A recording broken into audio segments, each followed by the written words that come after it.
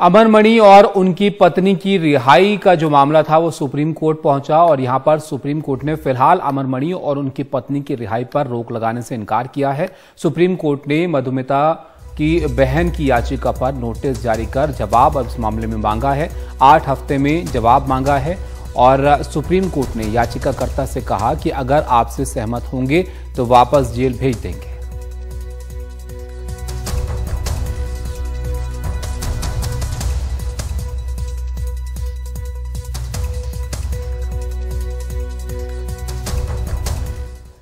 मेरी यही उम्मीद है कि अमरमणि की स, को जेल भेजा जाए और उनकी उनकी जो उम्र कैद की सजा है वो पूरी की जाए और वो अपनी सजा अस्पताल में नहीं काटें।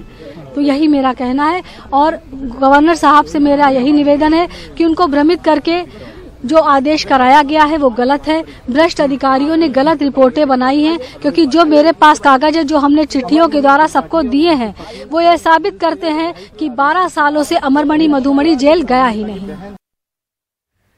अभी देखिए, मानिए ये रिहाई के जो जेलों में कार्य के आधार पर, उनके व्यवहार के आधार पर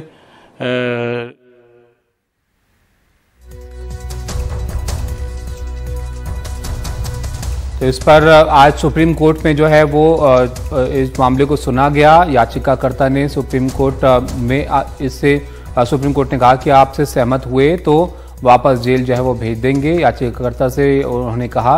और जवाब जो है वो मांगा गया है आठ हफ़्ते में इस मामले में। हमारे सहयोगी आशीष भार्गव हमारे साथ हैं। आशीष फ़िलहाल रिहाई पर रोक तो नहीं लगी है, लेकिन जवाब इस मामले में मांगा गया है कोर्ट की तरफ़ से। क्या कुछ कहा गया आज कोर्ट में?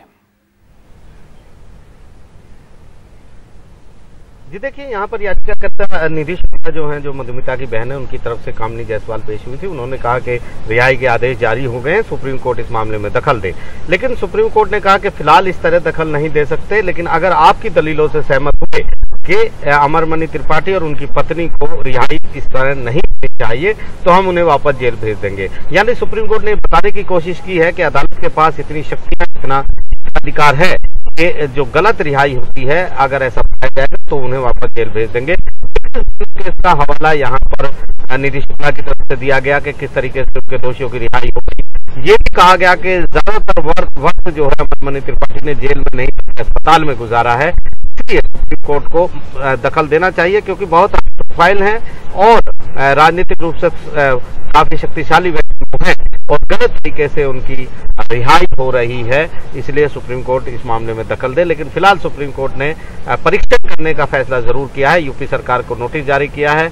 आठ हफ़्ते का समय दिया गया है। उस सरकार को जवाब दाखिल करने के लिए और सुप्रीम कोर्ट आगे इस मामले की सुनवाई करेगा।